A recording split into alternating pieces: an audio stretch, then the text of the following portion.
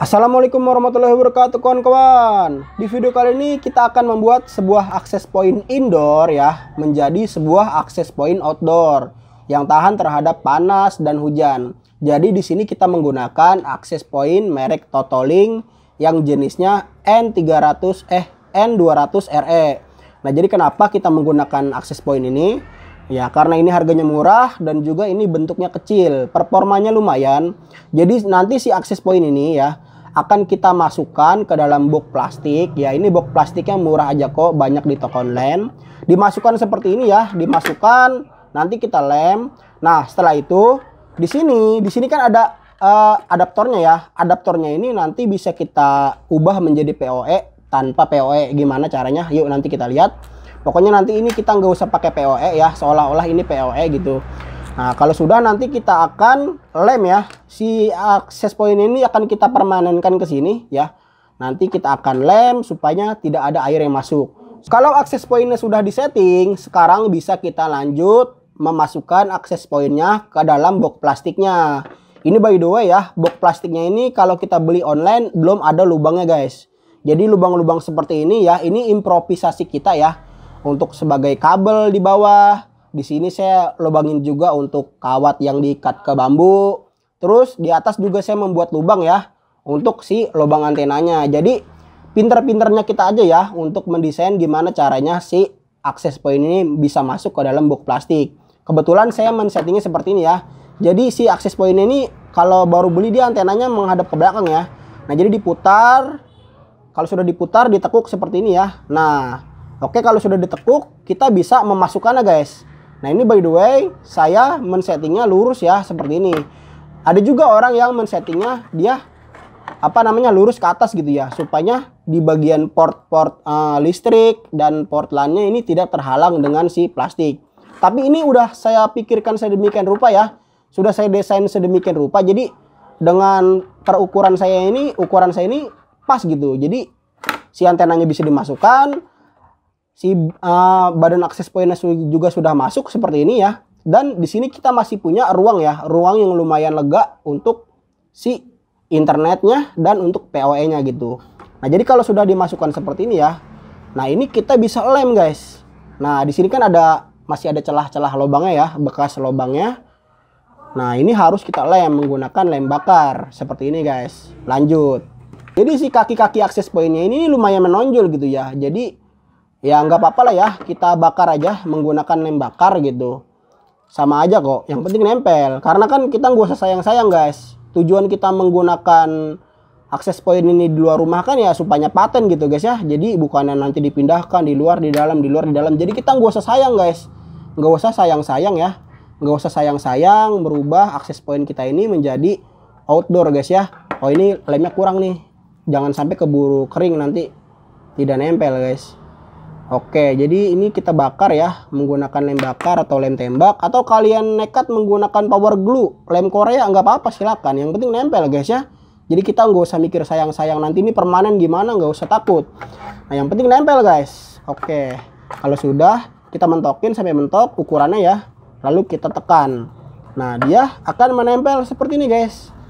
Oke guys, kita rasa sudah kuat ya dia menempel. Sekarang kita akan mengelem di bagian lubang antenanya guys. Nah ini lubang antenanya ya, ini lubangnya kegedean karena saya kemarin uh, salah memperhitungkan sedikit ya. Jadi usahakan kalau membuat lubang ini harus benar-benar mengkekernya guys. Jangan sampai lubangnya itu ngegecol guys ya. Kalau lubang lubang nge ngegecol nggak pas nanti lubangnya menjadi lebih lebar gitu. Yang enak kan lubangnya ngepres gitu ya. Kalau lubangnya ngepres itu kita ngelemnya nggak usah banyak-banyak gitu supaya air tidak masuk. Nah ini pun kita lem menggunakan lem bakar seperti ini ya memang tujuannya supaya air tidak masuk guys. Yang kita takutkan kan air hujan ya guys ya. Oke, di sini kita lem ya sampai benar-benar yakin tidak ada celah air hujan yang merembes ke dalam ya guys ya. Nah, oke guys, terus ya kita lem ya guys ya. Serapih-rapinya kita lah ya, seaman-amannya kita kalau kita merasa sudah penuh, sudah tebal dengan lem lubangnya, sudah tidak ada celah ya sudah, sudah cukup. Nah, saya rasa untuk si sebelah satunya ini sudah cukup ya guys ya. Saya kira, oh nggak usah deh, nggak usah pakai solder gitu kan. Sayang solder nanti belepotan plastik. Aduh, duh, tangan kena lagi. Saya pikir Gak usah pakai solder, nanti soldernya belepotan plastik. Eh, saya pakai pisau nggak rapi, guys. Saya pakai pisau kenapa nggak rapi? Gara-gara di pinggirannya, di pinggiran ini kan ada untuk lubang baut ya, guys ya. Nah, ini ternyata plastik yang di sini ini kalau dikorek pakai pisau ini keras, guys. Jadi saya korek-korek ya pakai pisau yang tajam yang ujungnya ditancapkan ke dalam plastiknya lalu diputar-putar. Ya memang berlubang, tapi ketika uh, pisau itu menghantam di bagian yang tebalnya itu ini nggak nggak nggak kena pakai pisau, guys. Jadi ya nggak bolong gitu jadi agak ngegecol. Nah untuk di bagian dalamnya kalau kalian ingin lebih yakin boleh ditambahin lem lagi ya di dalamnya. Jadi nggak usah takut nanti akses poinnya jadi jelek ceremotan ya udah resiko guys. Resiko menggunakan akses point dari indoor menjadi outdoor ya pokoknya serapi-rapinya kita lah ya oke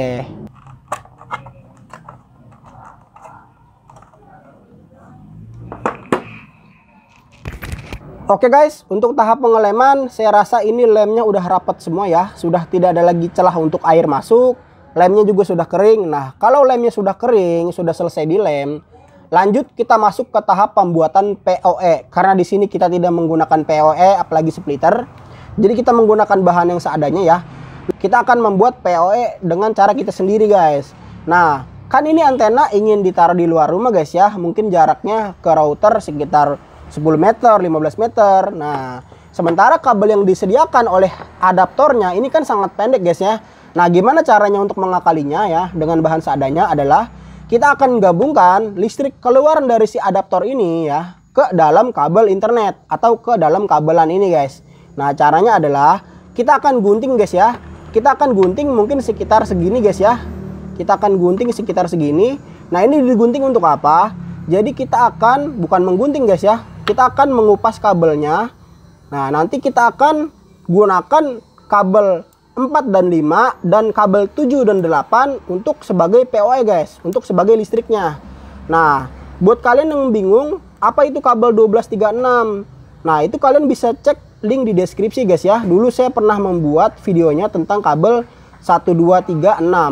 Nah, kalau sudah dikupas seperti ini ya, ini kita pisahkan ya, kabel yang berwarna uh, putih oranye dan putih hijau dan hijau. Pokoknya yang seperti ini ya nih. Putih oranye-oranye, putih hijau-hijau. Untuk putih biru-biru dan putih coklat-coklat yang akan kita gunakan untuk sebagai POE-nya. Nah, ini gak usah kita gunting, yang kita gunting yang di sini guys ya. Nah, ini kita buntungkan saja ya. Kita gunting saja di bagian kabel putih biru, biru dan putih coklat-coklat. Nah, ini dibiarkan saja seperti ini ya. Tidak mengapa, nanti kita lakban Nah, ini yang akan kita gunakan sebagai POE, guys. Eh, lanjut. Nah, sekarang yang akan kita gunting adalah di bagian sini, guys. Nah, di sini yang akan kita gunting, guys. Kita putusin. Uh, tek. Nah, di sini kita pisahkan ya, seperti ini. Lalu kita bakar juga ya. Kita bakar juga sampai si tembaganya keluar. Oke. Tidak usah panjang-panjang, segini aja.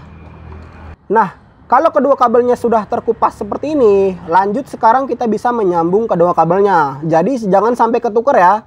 Di sini kan kabelnya ada yang bergaris-garis. Jadi saya, menggunakan yang bergaris-garisnya ini disambungkan dengan kabel yang putih biru-biru guys ya. Nah, jadi kita akan sambung ya. Nah, kedua kabel ini ya. Kita akan sambung.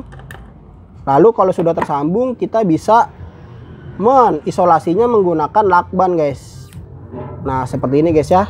Nah ini untuk pekerjaan ini ya rapi-rapinya kalian ya guys ya. Kalau kalian orangnya rapi ya bagus. Kalau sekarang yang satu lagi ya. Yang satu lagi kita akan sambung dan kita akan lakban guys. Pastikan ya kedua kedua mata kabelnya ini sudah sama-sama bersih supaya tidak ada resistansi guys. Oke kalau sudah seperti ini ya ini bisa kita lakban juga guys kita lakban tadi mana lakbannya ya? Ini kita lakban. Kita lakban sampai rapi guys. Ah rapi kalau rapih rapinya ya tergantung diri masing-masing. Kalau saya ngerjain apa-apa biasanya belepotan guys. Ngomong belepotan ngerjain sesuatu belepotan. Nah ini yang kabel telanjang seperti ini ini jangan sampai dia sorting ya guys ya. Nah ini dipisahkan aja seperti ini ya. Nah, dipisahkan seperti ini tuh. Kalau kalian mau lebih apa? Kalau kalian mau lebih aman, ya kalian bisa melakbannya lagi. Oke. Kita akan lakban aja deh biar lebih aman deh. Biar nggak pusing ya guys ya. Nanti ada yang komentar, "Bang, kok ini nggak dilakbanin, Bang?" Kita akan lakban, kita akan isolasi guys supaya tidak ada kabel-kabel yang saling tertempel atau saling sorting guys. Nah, ini kalau perlu semua kita lakban guys. Insya Allah ini kayaknya lakbannya rapi guys. Oke sip. Nah sekarang lihat-lihat sekarang ya. Kabel dari kabel untuk PoE atau kabel untuk sumber listrik si akses point ini ini sudah menyatu dengan kabel LAN-nya. Nah ini sekarang ya untuk kabel datanya bisa langsung kita colokin guys. Bisa langsung kita hubungkan ke si akses pointnya ya pastikan ya sebelum kalian membuat seperti ini kabelnya ya memang terhubung. Jadi ntar tidak ada istilahnya sudah dilem seperti ini kalian kerimping ulang. Ya kan ribet ya masa dikerimping ulang? Oke lihat. Ya ini sudah masuk ya. Oke guys sebelum kita memasangnya ke tiang bambu ya jadi kita cek lagi sekali lagi ya. Sudah terhubung semua ya sudah tercolok dengan benar tidak ada lagi lubang yang melongo ya Nah ini sengaja saya lubangi di belakang sini untuk diikatkan dengan kawat ke bambu guys. Nah jadi di bagian kabel pun di sini sudah saya klaim ya menggunakan kabel tis atau tali ripet. Nah jadi supaya nanti kalau ketarik dia dalamnya nggak ketarik gitu kan biar nggak putus.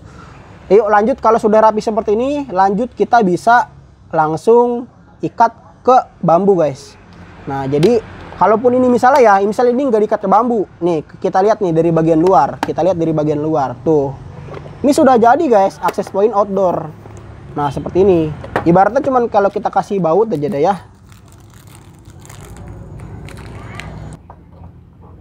Oke guys, saya rasa ini sudah jadi ya. Nanti kalau sudah jadi seperti ini, ceritanya di sini udah sekalian ikat ya ke tiang besi atau ke tiang bambu ya. Sudah rapi, terus belakangnya udah kalian tutup rapih seperti ini. Nah, nanti untuk lubang airnya ya, ini kan di bagian kiri, kanan, atasnya kan masih bisa kemasukan air nih. Kalian bisa merapatkannya menggunakan lem bakar seperti ini atau kalian merapatkannya menggunakan lakban ya seperti ini gitu ya nanti di lakban. Nah nanti kan jadi kita nggak usah takut gitu ya masang akses poinnya menghadap atas gitu. Kadang-kadang orang tuh takut air tuh dia menghadap bawah tapi nggak apa-apa ya karena ini sudah rapat kita bisa menghadapkannya ke atas. Nah untuk tingginya sendiri saran saya sekitar 2-3 meter ya. Ini terserah kalian masing-masing selera ya. Nah jadi untuk uh, POE-nya, listriknya ini belakangan guys. Yang penting kita sudah uh, kupas kabelnya seperti ini ya. Nah, nanti misalnya ini udah dipasang, kabelnya tingginya sekian meter. Terus jaraknya ke rumah sekian meter, kabelnya sudah dirapikan. Lalu lebihnya semana? Ini kan gak mungkin kita pasang semua ya. Misalnya ini lebih, terus kalian potong. Udah kalian potong. Nah, ntar di ke ujung kabelnya, ujung kabelnya kan ini bakal kalian krimping supaya bisa masuk ke mikrotik. Ya, nanti kalian krimping, ingat yang dikrimping cuman kabel ke 1, 2, 3, dan 6 alias putih kuning-kuning, putih hijau, dan hijau. Jadi putih biru-biru dan putih coklat-coklatnya jangan kalian krimping. Nah, nanti kalian kupas, kalian sambungkan kembali ya seperti teknik yang tadi. Nanti di bagian kabel putih biru-biru dan putih coklat-coklatnya kalian ikat ya. Benar kan dengan yang tadi yang ada garisnya ini kan untuk yang putih biru-biru. Nah, jadi kalian sambung, kalian ikat. Lalu yang ini kalian colok ke mikrotik ya. Nah, lalu yang di bagian adaptornya, ini kalian colok ke listrik. Sudah, sudah jadi. Berarti kita sudah selesai membuat sebuah akses point indoor menjadi akses point outdoor. Oke, mungkin segini aja video dari saya. Semoga video ini bermanfaat bagi kalian. Saya akhiri. Wassalamualaikum warahmatullahi wabarakatuh. Bye-bye.